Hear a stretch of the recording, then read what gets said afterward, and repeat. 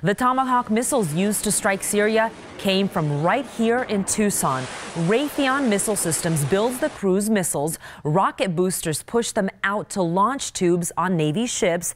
Then wings swing out and a jet engine takes the missile the rest of the way to the target.